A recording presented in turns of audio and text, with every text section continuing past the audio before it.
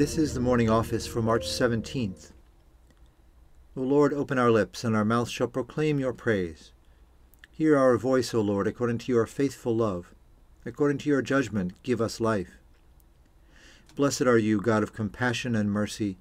To you be praise and glory forever.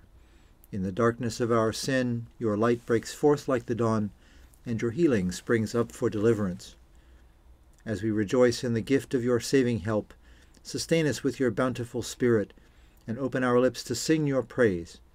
Blessed be God, Father, Son, and Holy Spirit. Blessed be God forever. The night has passed and the day lies open before us. Let us pray with one heart and mind. As we rejoice in the gift of this new day, so may the light of your presence, O God, set our hearts on fire with love for you, now and forever. Amen. The portion of the Psalter appointed for today is Psalm 51, verses 1 to 13. Have mercy on me, O God, according to your loving kindness. In your great compassion, blot out my offenses. Wash me through and through from my wickedness and cleanse me from my sin. For I know my transgressions, and my sin is ever before me. Against you only have I sinned and done what is evil in your sight and so you are justified when you speak, and upright in your judgment. Indeed, I have been wicked from my birth, a sinner from my mother's womb. For behold, you look for truth deep within me, and will make me understand wisdom secretly. Purge me from my sin, and I shall be pure. Wash me, and I shall be clean indeed. Make me hear of joy and gladness, that the body you have broken may rejoice. Hide your face from my sins and blot out all my iniquities.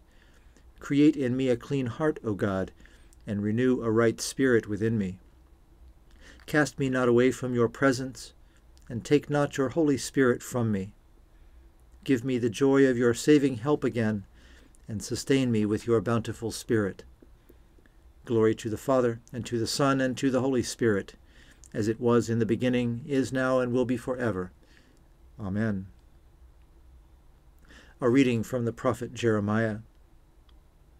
The days are surely coming, says the Lord, when I will make a new covenant with the house of Israel and the house of Judah.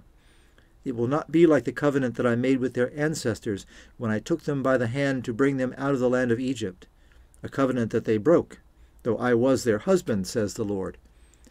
But this is the covenant that I will make with the house of Israel after those days, says the Lord. I will put my law within them, and I will write it on their hearts. And I will be their God, and they shall be my people. No longer shall they teach one another, or say to one another, Know the Lord, for they shall all know me, from the least of them to the greatest, says the Lord. For I will forgive their iniquity, and remember their sin no more. The word of the Lord.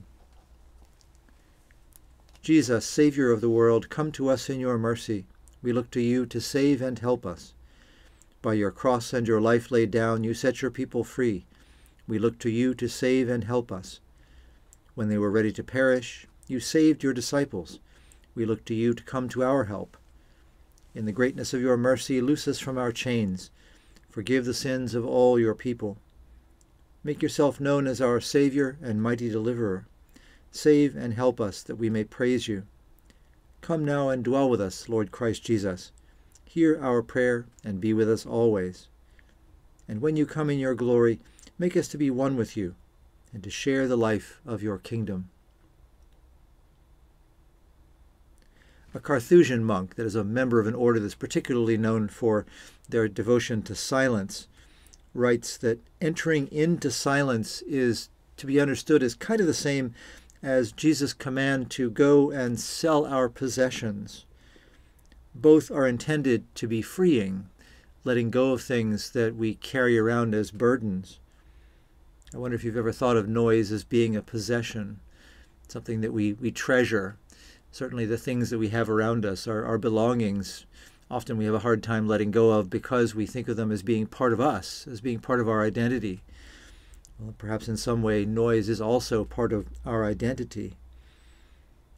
Letting go of it may be hard, but it seems as if it is the, the freedom we need in order truly to follow Jesus. I ask your prayers for the day, the world, and for the church. Pray for those needs that will come to you today unexpectedly.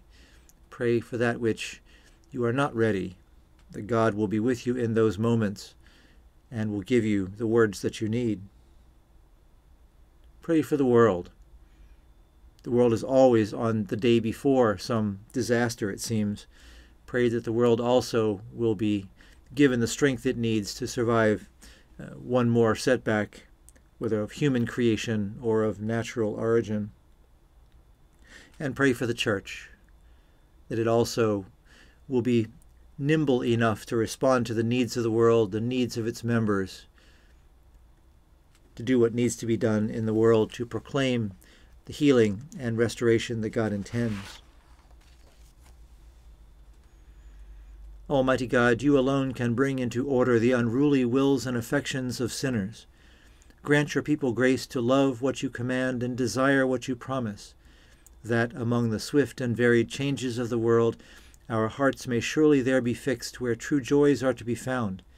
Through Jesus Christ our Lord, who lives and reigns with you in the Holy Spirit, one God, now and forever. Amen. Our Father, who art in heaven, hallowed be thy name. Thy kingdom come, thy will be done on earth as it is in heaven. Give us this day our daily bread, and forgive us our trespasses, as we forgive those who trespass against us. And lead us not into temptation, but deliver us from evil.